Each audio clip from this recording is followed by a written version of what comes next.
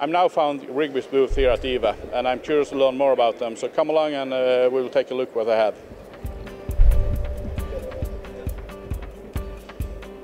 Now I'm in the Rigby booth here at IWA, and I'm talking to uh, Andrew, head of sales. I feel like Rigby is a brand that brings something uh, special to your mind when you're thinking about the history and so on. Please tell us a little bit about uh, the history behind Rigby. Yeah, of course, with pleasure. Um, it was founded in 1775, so we're actually the oldest English-speaking gunmaker in the world, which is quite a proud boast when you consider the other gunmakers that are out there. You know, the likes of Hollands and Purdey's, and so we're actually older than them. Um, we've had a sort of up and down history, but uh, five years ago it came back to London. and we relaunched with the help of being part of the, the Blaser group, and we're going from strength to strength. Yeah. So uh, you're actually a part of the Blaser group, and there is a special connection also. For those who don't know, tell us about the connection to Mauser. Yes, of course. Um, I think one of the, the calibers that really made us world famous was the uh, caliber 275 Rigby. Yeah. Um, and we developed that with uh, Mauser. And so over a hundred years ago, uh, John Rigby and Mauser formed a cooperation where Rigby's would buy in the barrels and the actions from Mauser in Germany. And what we've done when we relaunched the company, we've done exactly the same with the Highland Stalker model here. Yeah. Um, and that's we're, all we're doing is we're recreating history and all that tradition with Mauser, and they're in the same group with us, so it works perfectly. Yeah. Please show us the uh, yes. 275. So this is uh, this is quite a special rifle actually. This is a 275 Rigby, but what we've done here, this is going to be a limited edition set of 50 to commemorate W.D.M. Bell, who is uh, you know a very famous hunter. He bought uh, seven 275 Rigbys, and uh, we've built this in exactly the same way as he had his rifle uh, over 100 years ago, and we've put his initials on there. That's what he used to have on all his rifles, and we've put one of 50, and it will be you know, uh, each one numbered, special tapered flattened bolt handle, which he had, a specific style. We've copied that. Um, little details on here, and, and this is you know, on our very successful Highland Stalker rifle, which we launched two years ago and has gone from strength to strength. Yeah. And uh, he made it. Uh, he made good use of it. Also, he he did. yeah. He did a, a, a, vast amount of hunting with uh, this particular caliber, um, and and through him and his storytelling and people like Jim Corbett, it you know, together they made Rigby, the, you know, a really, really famous name, which and it's what we're doing today, trying to keep that alive and keep those traditions going. Yeah. And uh, I also learned that you have some really exciting news when it comes to shotguns. Sh shall we move over yes, here and uh, see what we find out? I would love to, yes. Yeah, yeah. So if we just go over here. So Andrew, here we have some uh, really nice shotguns. Yes. Uh, please uh, tell us what it is we are looking at. Well, indeed, these are very, very special. Uh, these are the very first pair of shotguns, uh, rising bite shotguns that Rigby has built uh, since 1932. Was the last gun finished. Um, so this is a momentous, important moment in our history. We launched them. Uh, they were first on display in uh, in the Reno show in January. So this is the first time they've been put on display in Europe. Um, and we took an original 1900 Rising Bite shotgun and reverse engineered it, copied it identically. And these documents here are the original patent documents when it was designed in 1879. And we've copied it, you know, yeah. to the detail. You know. yeah really, really nice. I really like those old things that is bring, brought back to life. Yes. And uh, is this uh, only one of a pair, or are these in the limited series or so on? No, it's a very good question. We are taking orders for them. Uh, we are now, you know, uh, very much looking to take orders and build them um, in various calibers that people want. They can have choose their own barrel length, engraving, choose their wood. So it's uh, very much a bespoke gun and they can have it any which way they want and really get involved in the process. These are made completely by hand in our factory in London. So, yeah. you know.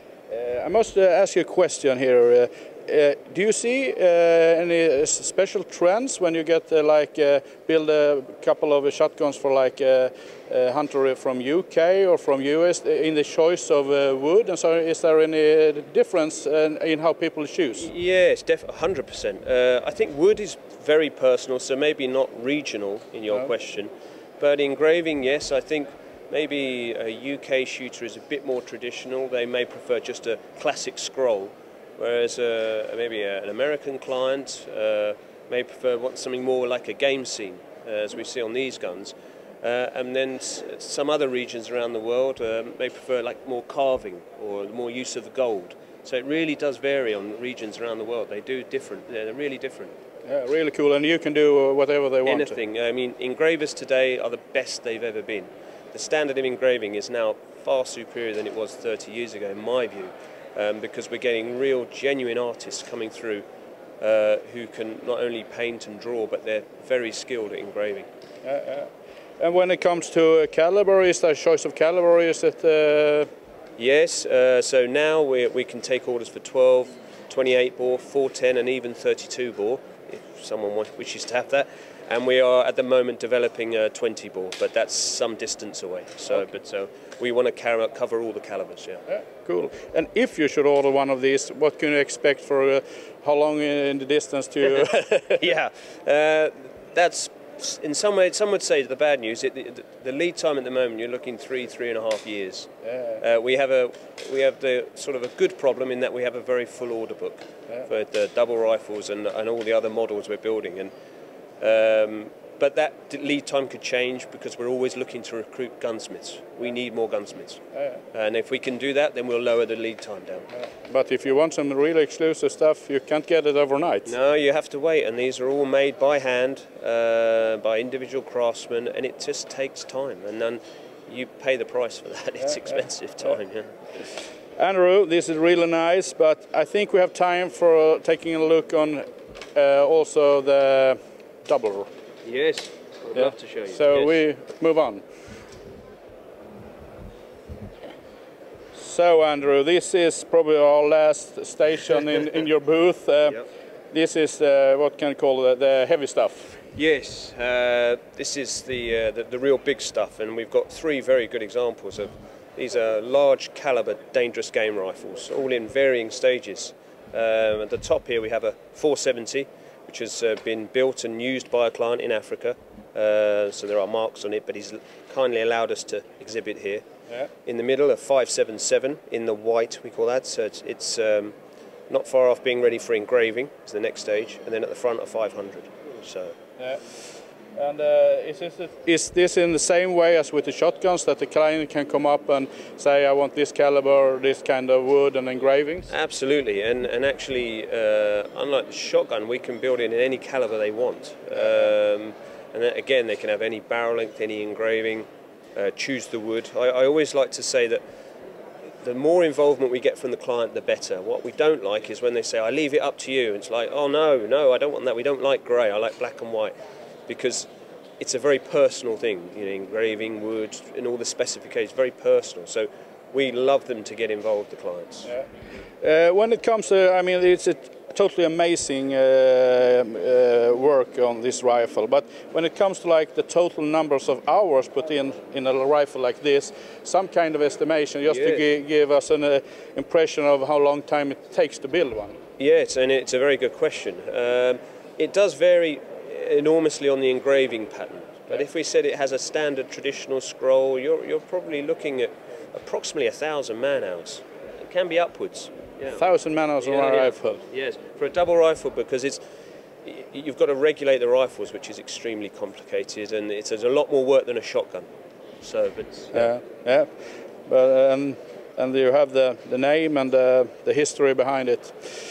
Yes. I'm really happy you took your time to Thank show you. us this, Thank Andrew, you. and uh, I'm really excited to uh, be learning more about Rigby. Thank you very much. It's a pleasure. Thank, Thank you. you. Thank you. If you like our videos, do not hesitate to hit the subscribe button. It means a lot to us if you support us by subscribing to our channel.